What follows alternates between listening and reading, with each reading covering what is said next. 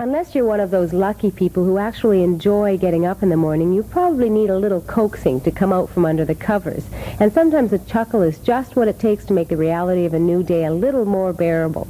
Doc Harris specializes in lightening up the morning. For over eight years, he and his cast of thousands have been teasing listeners awake on radio station LG73. But last fall, just before he ran off to get married, Doc Harris was in our kitchen to demonstrate his other specialty. Good morning. It's Doc Harris on your TV. And this morning we're going to explore two occult mysteries.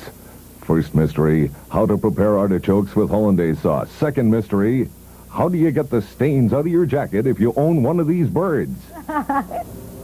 Will, okay, there we are. Good morning to you. Good morning to It's you. nice to be here. Yeah, We're, what we're going to do this morning is make artichokes with hollandaise sauce. And I should, uh, first of all, indicate this is an artichoke. an A lot of people think these are a vegetable, but actually they're a uh, relative of the badger family, and they come along the ground. If you want to, uh, if you want to catch one, you have to be fairly quick on your feet. At any rate, we have captured a few. we've ca- I captured four yesterday, but then I'm fairly quick on my feet. I'm still holding two eggs in one hand, which is not that big a trick, really. First thing you'd want to do if you got an artichoke is to trim it, uh, because it has all these, I'll show you the one that's untrimmed, has all these nasty spikes on it. Let me get rid Yeah, of these I- I eggs here. noticed. Yes, you can really uh, sting yourself badly with one of these. They're pretty sharp, and uh, so what you'd want to do is when you get your artichokes home from the store, uh, take your scissors and snip off all the nasty ends. This looks like a lot of work, um, and it is.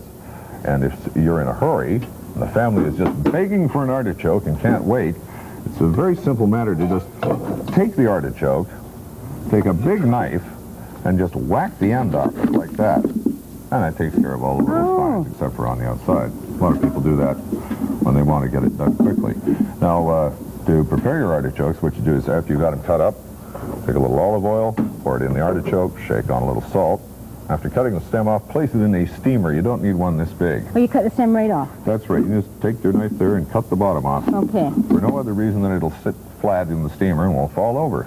Have some steamer, isn't it? That's a monster. Where did that come from? I don't know. looks, part, looks like part of the boiler room. At any rate, it's okay. like O2, R2D2. Have you, that's right. um, having trimmed your artichoke, you can put it in the steamer and get a good head of steam going there. Let it go for about 45 minutes. Now, you need something to serve it with. The easy way out is to melt some butter because you can dip the artichoke leaves in the butter. The hard way is to make hollandaise sauce. It sure is hard. And now we come to the tricky part of this morning's thing because I don't own a stove like this. no One one thing, does. If I had a kitchen like this, I would get the taps turned around the right way. So what we're going to do is, first of all, uh, you have to separate two eggs. I suggest putting one in the bedroom and one in the carport. uh, and get the yolks. You need two yolks of eggs. There's one yolk. I ruined the hollandaise last night. You so did? I'm, Oh, I'm well, really hoping you enjoyed it watching this today. Yeah, okay, and uh, here's separating the other egg. This is awful. buy nice egg separators. I have one. I didn't bring it. This is my own pot, though. It That's is. Yes, it is. Oh, I thought it was kind of nice. Okay.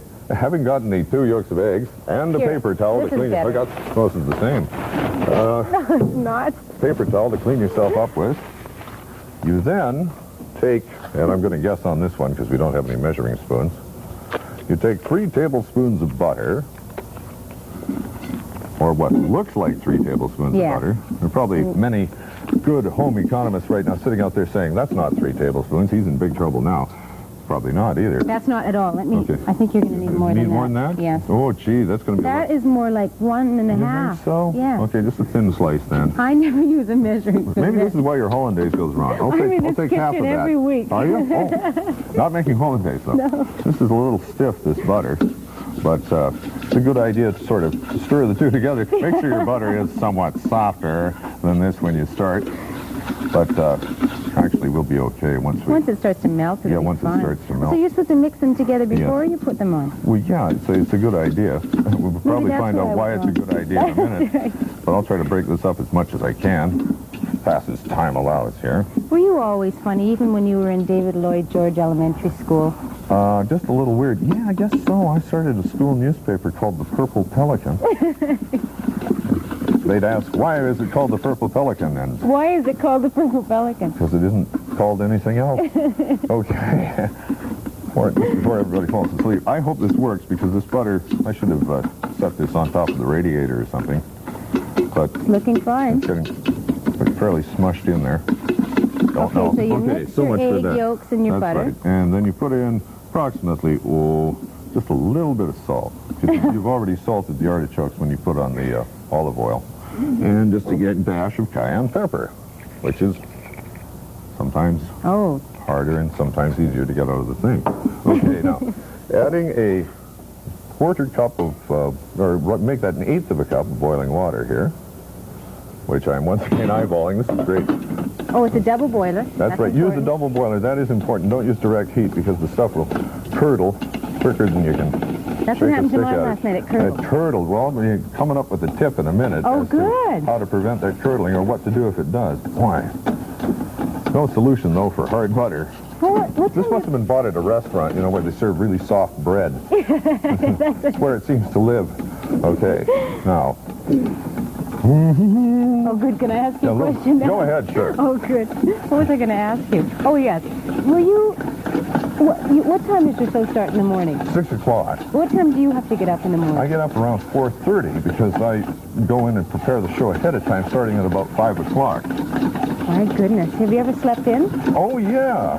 Showing up as late as quarter to 6. Have you really? the thing about going in an hour ahead of time for work is nobody notices if you're late by your standards, you know. Yeah, yeah. I'm still there at 6 o'clock. it's just I have nothing to say. Okay, stirring briskly here.